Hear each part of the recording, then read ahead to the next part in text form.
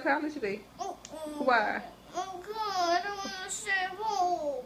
But college is when you um go to school to learn how to be a doctor. You got to go to college first to be a doctor. Mommy, I don't want to go to college. I want to see y'all. Really? You gonna be big. You gonna want to go to college. You don't want to go to college when you get big.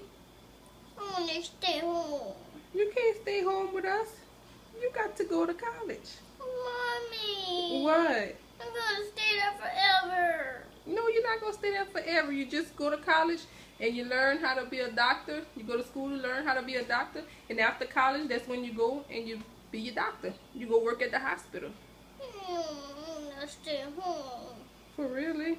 Mm, You crying? There's tears in your eyes? Serious? So no college. mm-mm, No college. College. You gotta go to college, mama.